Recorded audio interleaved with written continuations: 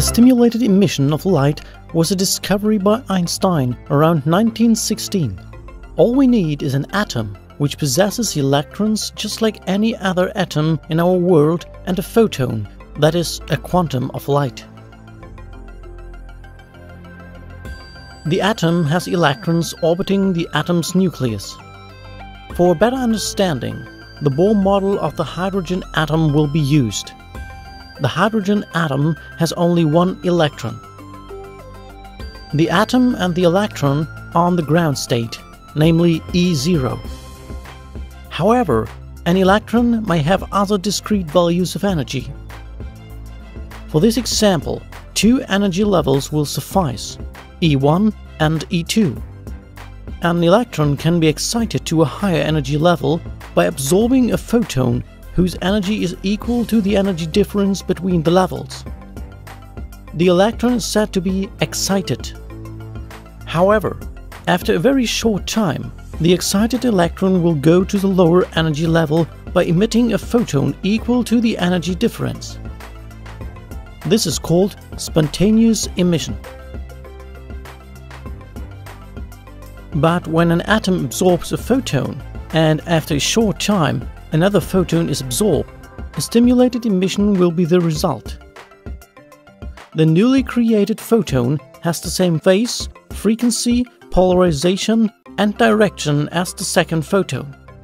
So it's a copy. The operation of lasers is based on the process of stimulated emission. Here, we will discuss a three energy level design. A photon is absorbed by the atom. The photon has enough energy to lift the electron from energy level E0 to energy level E2. Shortly afterwards, the electron jumps into energy level E1. This can occur without emission of a photon. A laser device is made up of several components. First of all, a mirror with a reflectivity of 100% is installed at one end of the device. Furthermore, we need a gas, a liquid or a solid that serves as the gain medium and creates identical photons. Another mirror with a reflectivity of about 98% must be installed at the other end of the gain medium. Another part we need is an energy source in order to use photons to raise electrons from a lower energy level to a higher one, a process called optical pumping. Now, let's have a look at the inside of the gain medium. The atom and the electron are on the ground state. Now, optical pumping, that is emitting energy in the form of photons, is used to raise the electron into a higher energy level. In this case, its energy level is E2. After a short period of time, the electron jumps into energy level E1 without emission of a photon. Consequently, the process of optical pumping cannot cause stimulated emission because there are two different amounts of energy present. The electron will maintain its energy level E1 for some time. Then, the atom will spontaneously emit a photon in a random direction as it relaxes to a lower electronic state.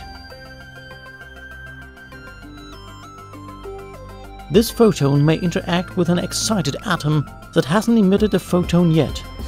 So, the photon hits the excited atom and causes a stimulated emission because the photon has the exact amount of energy to do that. Only photons emitted in a direction perpendicular to the mirrors will be reflected. The reflected photons initiate a chain reaction to produce more and more photons of the same kind. Furthermore, only photons with the same amount of energy and the same momentum will be part of the chain reaction. That's the reason why laser beams are strongly coherent and monochromatic. A very important aspect is the fact that many atoms must be in an excited state. For laser to work, more atoms must be in an excited state than in lower energy states. This is called population inversion. The semi-transparent mirror allows some of the laser energy to be emitted while bouncing most of it back through the laser. There are many other cool things about lasers, but for now, that's all.